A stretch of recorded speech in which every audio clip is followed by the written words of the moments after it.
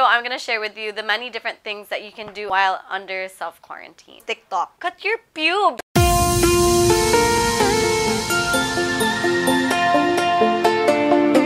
Guys, it's me, Issa, and welcome back to Bayhana. It's been about two weeks since we've all been advised to social distance and to just stay at home. I wouldn't say that it's been the best experience or that I'm particularly enjoying it, but I've gotten through it and I'm just hopeful. I don't consider the lockdown as a vacation. I think of this lockdown as my responsibility as a responsible community member. In the last two weeks, our lives have drastically changed, but I really think in times like this, it's really really important to have a grasp on our lives and have that sense of accomplishment or productivity or just like structure.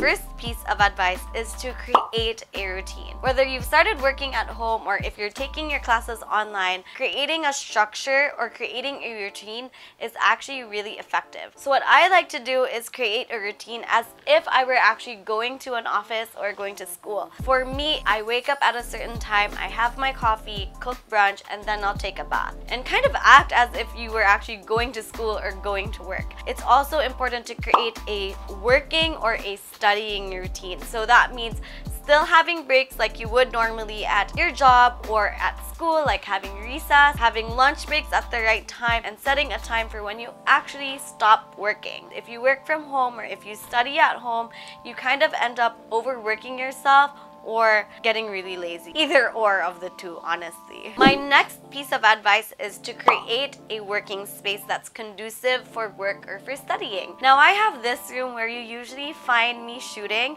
and this is our guest room and I've converted this into a mini office. Now I like to have this little corner of the house because it allows me to distance myself from other people and have like the time that I need for myself. The next thing that you can do at home is to clean your house. Well, me and my husband have been under self-quarantine. We've done a lot of home renovations and so have our neighbors. I do have a couple of tips when it comes to cleaning the house and my first tip is to not mix liquids. And I'm going to flash a graphic on your screens of the many liquids that you should not mix. When cleaning our house, I like to start with sections. I'll usually start with a room and then I'll make my way out to the salas. A clean house means lesser chances of us getting sick, so now's the perfect time to clean your houses, guys. I also think it's really important for us to check the expiration dates on our food. The last thing that we want to happen is for someone in the house to eat something in the fridge that's expired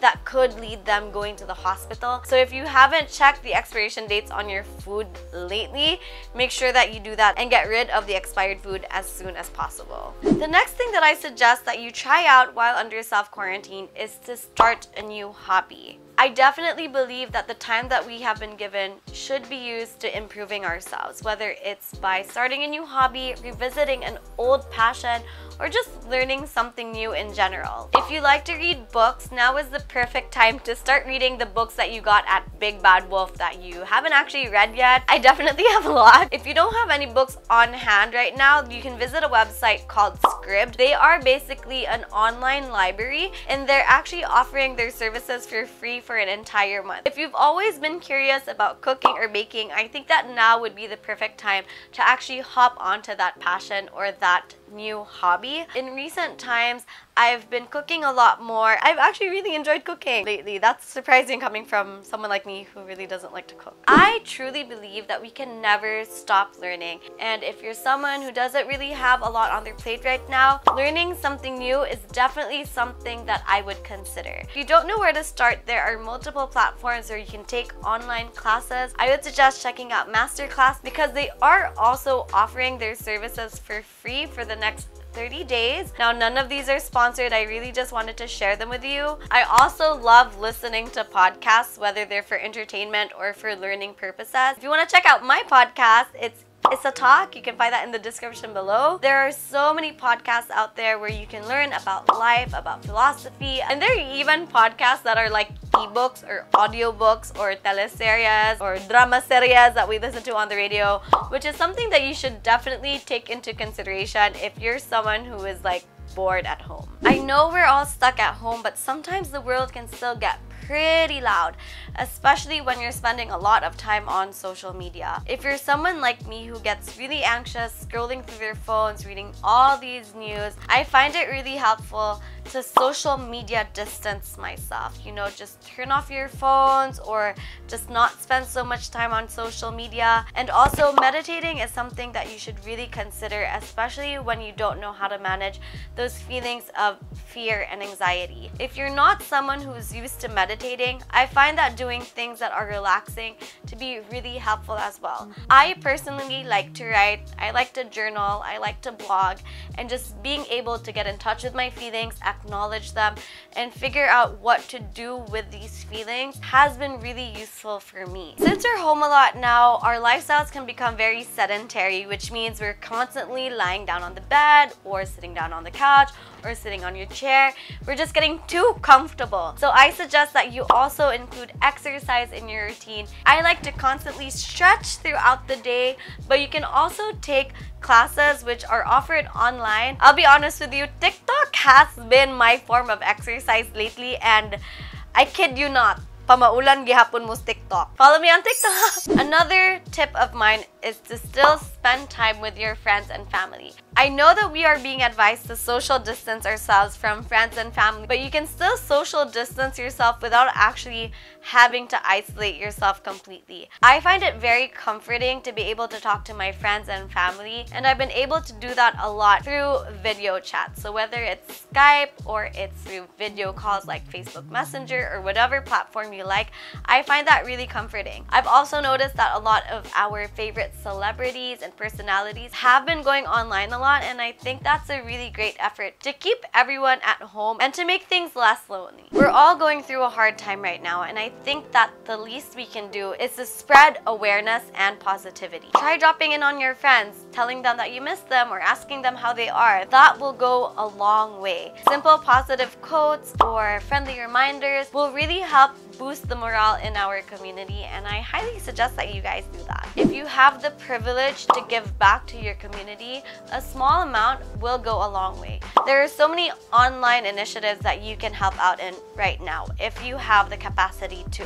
A simple donation, if you can, will go a long way. But if you find that you're unable to do so financially, I definitely think that the next best option is to spread that information because someone else in your circle might be able to donate and any and every donation definitely is welcomed especially at this time. And lastly, take a break. Sometimes the world can be so overwhelming and I definitely know how it feels. Do whatever is healthy for you. But whatever you do, make sure that you do it at home. Now, I've already shared a couple of things that you can do at home. I'm also going to share with you things that you should not do while at home.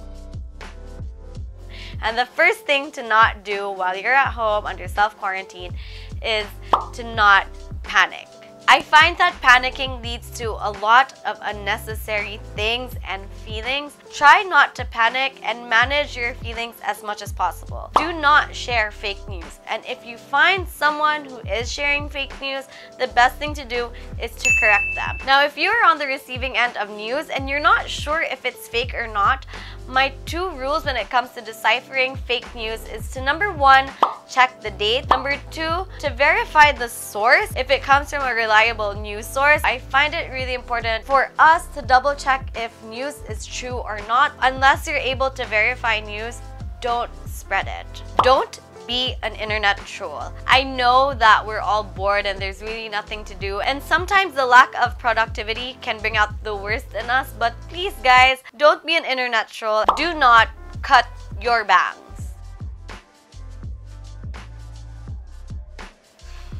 No, actually, it's your hair. You can do whatever you want with it. If you must cut your bangs, do it. Just don't go out of your house, okay? Stay at home. Cut your bangs if you have. Cut your pubes if you have to. Most of all, guys, don't forget to be a good person. It's hard for everyone. We're all lost. We're all in a weird place, but it's always important to keep in mind to be good brothers and sisters to everyone in our community. I hope that this video helps you. If you need someone to talk to, you can always feel free to message me on all my socials. I'm Issa Please. I always try my best to reply, so if you need someone to talk to, feel free to send me a message or I also go on live sessions to keep people company so you can also join my live sessions or you could also join the Bayhana community group where we have a lot of amazing interesting discussions. Let's have discussions guys because healthy discussions are always welcome discussions.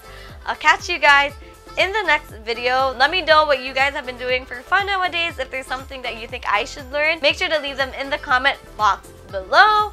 And also, don't forget guys, knowledge is power, and I'll catch you in the next video. Bye!